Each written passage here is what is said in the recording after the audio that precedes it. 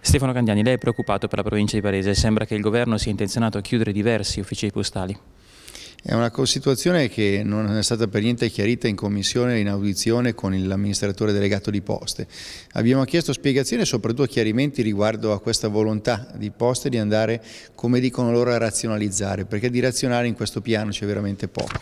Ci hanno consegnato questo plico che abbiamo analizzato e che abbiamo riportato in commissione andandone a chiedere giustificazione e quello che ne deriva in sintesi estrema è molto semplice. Poste Italiane ha bisogno di ridurre i costi e vuole andare sul mercato per essere appetibile con dei servizi che non sono più quelli postali. Quindi puntare essenzialmente sulle banche per loro sull'attività bancaria diventa eh, una scelta. Noi non siamo d'accordo perché Poste, ricordiamocelo, è un servizio di Stato, ma soprattutto un servizio che è stato pagato e costruito con i soldi dei cittadini.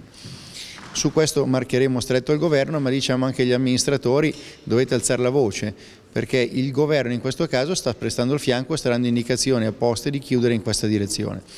Si parte dai piccoli comuni e si arriva poi anche ai più grossi centri, ma non c'è razionalità, faccio l'esempio, vengono chiusi gli uffici postali in realtà periferiche, in eh, piccoli comuni piuttosto che in alcune frazioni del, di comuni più grossi, senza badare che i costi, soprattutto in termini di risparmio, possono esserci invece più nelle grandi città. Se vogliamo parlare di risparmi di costi, ma noi vogliamo parlare di servizi. Qual è la qualità del servizio oggi? Se uno va in un ufficio postale ci trova un mercato arabo, ci trova un suc, ci trova di tutto, tutte le schifezze possibili e immaginabili sono in vendita, tranne il servizio che la gente desidererebbe avere, la consegna della posta e soprattutto l'attività postale vera e propria.